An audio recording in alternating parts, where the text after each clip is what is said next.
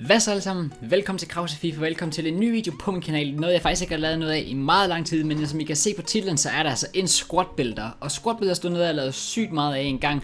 Jeg har faktisk lavet en enkelt i FIFA 16, men jeg lavede også et par af dem i FIFA 15, og jeg har lavet sygt mange i FIFA 14. Der elsker jeg virkelig at lave det, og jeg har faktisk savnet meget at lave det, så jeg tænkte, ved, ved det, nu prøver vi squad at gå ind og lave en ordentlig squat builder til jer. Så ja, vi skal egentlig bare i gang med holdet her, vi kan se hurtigt. Øhm, vi skal ind og finde selvfølgelig, som I kan se her, False 9 øh, formationen 4-3-3-5 og det er altså fordi at det her er nok den bedste False 9 bedste False 9 hold jeg nogensinde har prøvet at spille med sådan overhovedet. Ikke fordi jeg har spillet med så mange False 9 hold men det her det var virkelig virkelig virkelig godt. Så vi skal bare direkte ind i det. Vi kan se på målsposten har vi altså Han Donovic her. Vi går lige hurtigt vi tager lige hurtigt forsvarsspillerne ind også med det samme.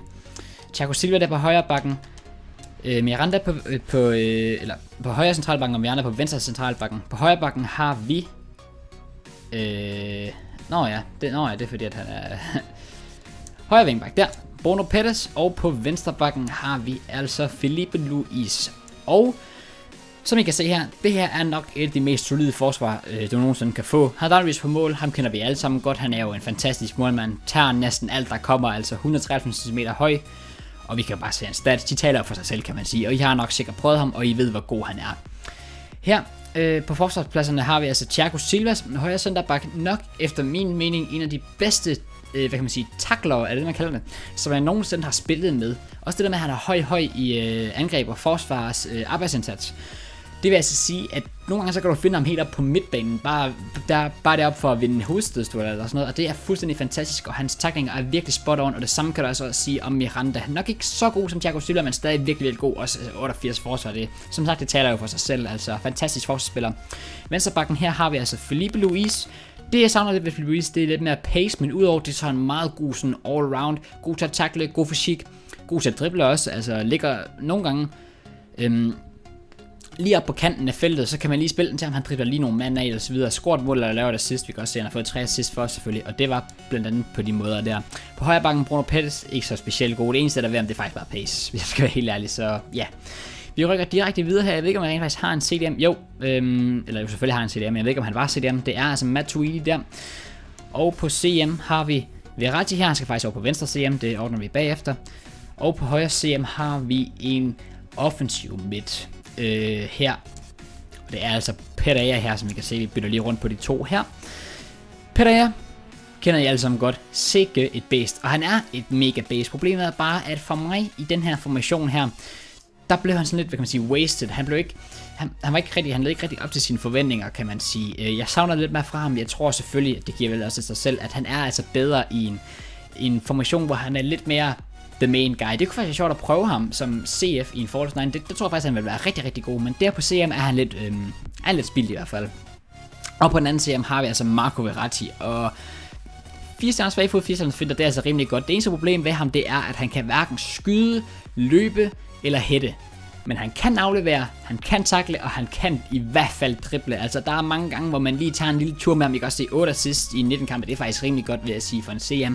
83 afleveringer. Det er altså, altså, nogle gange så ligger han bare de perfekte sukkerbolde. Men problemet er, at han vinder ikke en skid på midtbanen, fordi han er altså kun 165 cm høj. Og han er heller ikke den hurtigste lige frem. Og skud, don't even try. Du skal slet ikke prøve at tage skud med ham, fordi at de går ikke ind, medmindre du er ind mod ind mod målmanden selvfølgelig. Men dribling og skud, eller hvad hedder det, afleveringer, der er altså så fantastisk. Virkelig, virkelig god at have der på venstre central midt. Så vi hopper altså videre til venstre ving her, hvor vi har, ja, vi har en venstre midt af det så. Skal vi lige at finde øh, ham her. Øhm, og det er altså Gaetan der.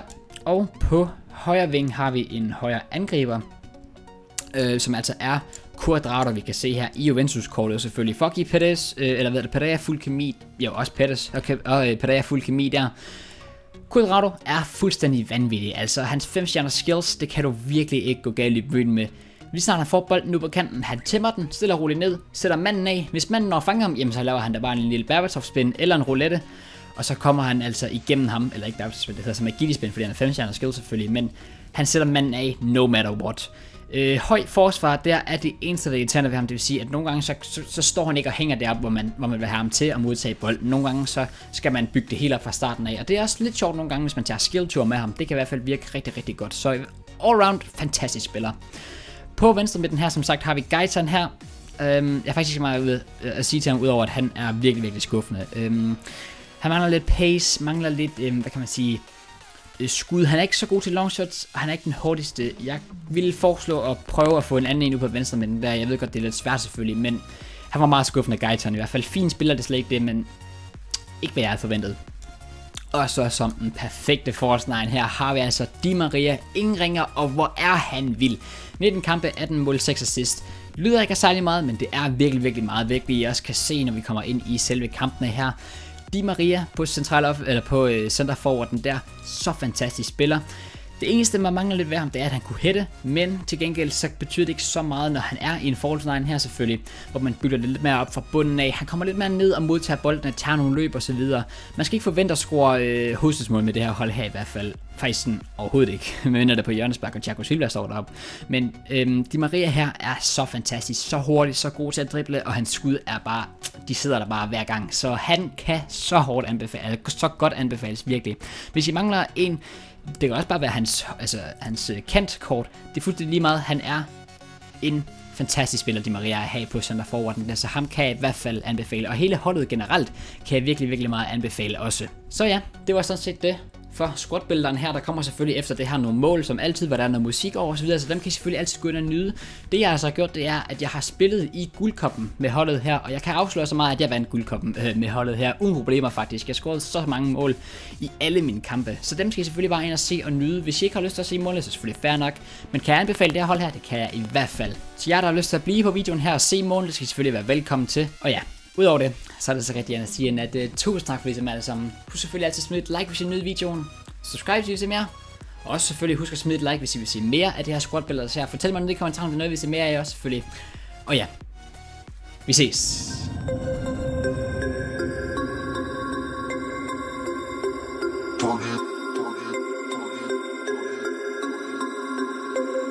We about to turn it on.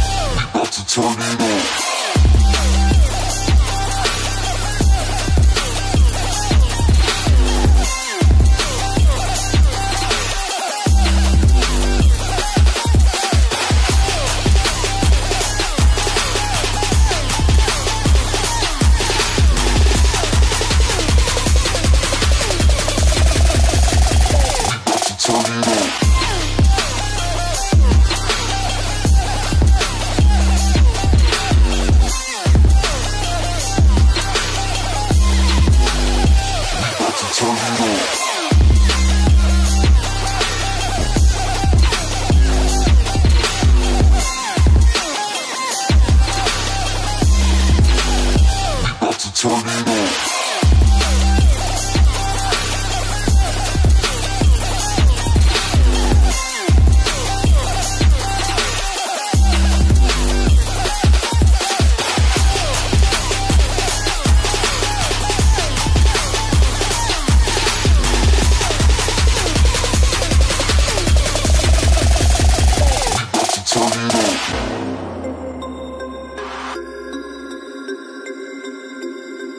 turn